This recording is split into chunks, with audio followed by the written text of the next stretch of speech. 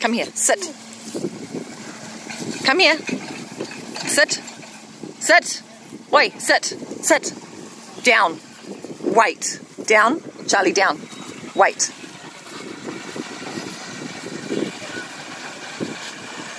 Yay! The poles are arriving. So we were just saying, oh, we've got no wood, but they're all arriving. Long Building Solutions are building our shed. They were here bright and early, 8 o'clock sharp, and um, they're doing an awesome job. They're just cracking straight into it. This is so exciting. I can't tell who's more excited. Dogs?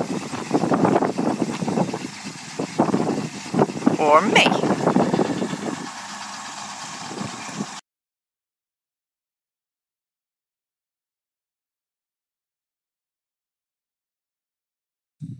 Alright, so day one and the guys have a huge amount. She's going to fly along pretty quickly. We are stoked and it looks huge. It looks really huge.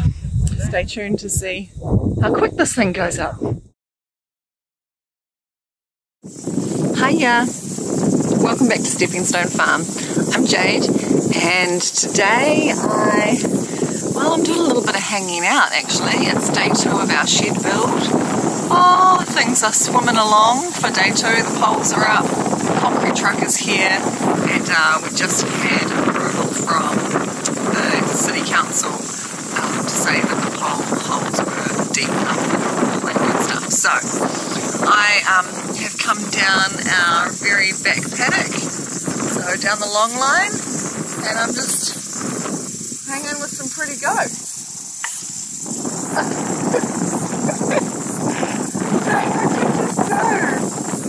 hey, there's a funny girl. You guys are funny. Right, so we got Mum over there. Whoops. Mum over there with her twins, Cream, and her twins are Vanilla and Ice. We got Mary and Jane. We've just come down here, Mary and Jane. Hey girls, say hi. And then we've got Coffee and Cream. So everyone's hanging out in their little family units today, aren't you? Yeah, everyone's hanging out in their little family units today, which is quite cute. We have over this side of the fence looking all sad, Gary. He does have friends in there. He's got he's got uh, seven cattle in there with him to keep him company. Hey, Gaza, you're a bit sad, eh? Bit sad that he's not in with his his girls, his harem. So we're just chilling. We're um our creek that runs through dried up. Um, it's super muddy. The goats have been in it. They um, had to discover it for themselves, which was great because, yeah, we were here, so we got to watch to make sure that they could get out. Get out of the creek, not out of the paddock.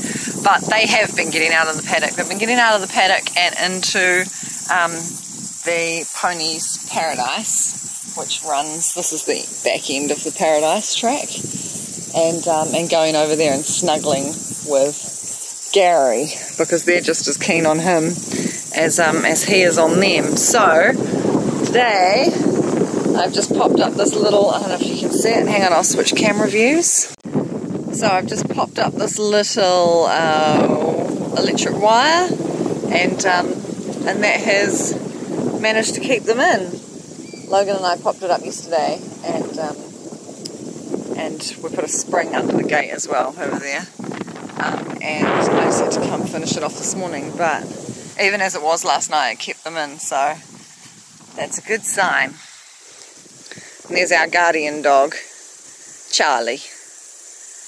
Charlie, are you eating the goat food or are you eating the poos? Alright? So Charlie grew up with Mary and Jane, literally in the same kennel. Mary and Jane would try and push all the puppies out of the nice warm dog kennel and um, preferred the puppy kennel over over their own little kennel. So,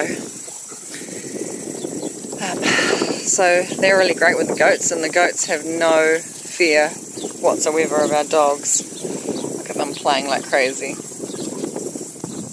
Alright, so the fence is turned back on and uh, we'll leave the goats to enjoy their afternoon. It's fantastic weather here. Still a little bit windy but not too hot, not too cold. It's be about 24 degrees and um, oh, I'm excited to go and see how much further these guys are along. They are absolutely flying ahead with this shed. And looking at it, yeah, once the poles are in, you look up and you're just like, my gosh, this is going to be huge. Huge. Fantastic. Right, so I'm walking down the um, paradise now. If anybody knows what that kind of weed is, you can tell me. It pretty much grows wherever the ground's been turned. And, um, and there was pond or something. Kind of looks like Vietnamese mint, but um, I'm pretty sure it's a weed because weeds are the only thing that I grow really well. And it grows really well here for me, so the goats do eat it, but there's just copious amounts of it. Alright, shed time!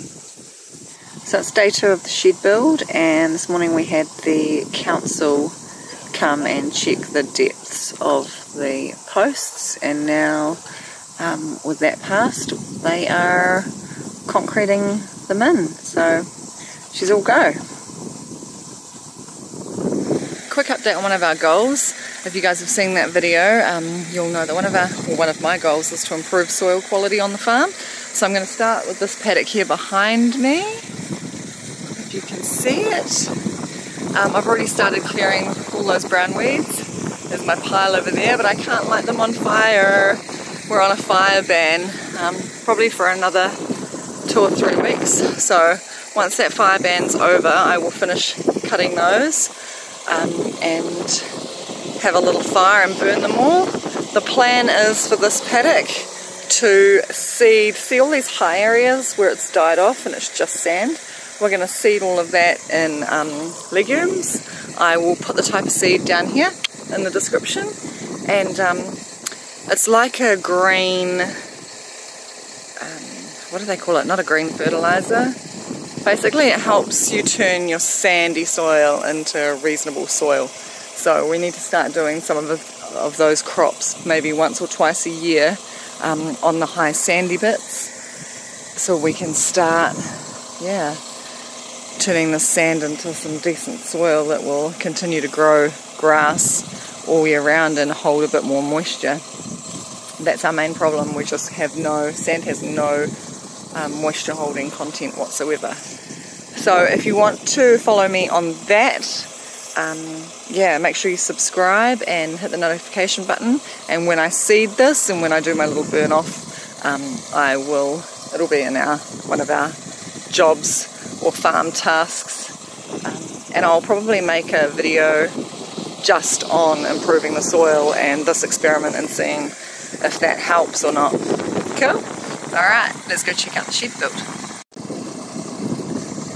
Alright, so we've got the concrete truck here. That's our septic tank that's arrived.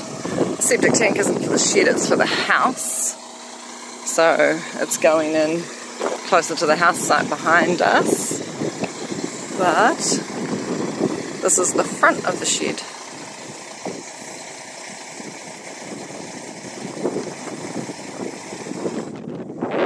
So it's looking pretty good. All the poles are up and braced and the concrete truck is here and they are now pouring concrete in the holes after it passed inspection this morning.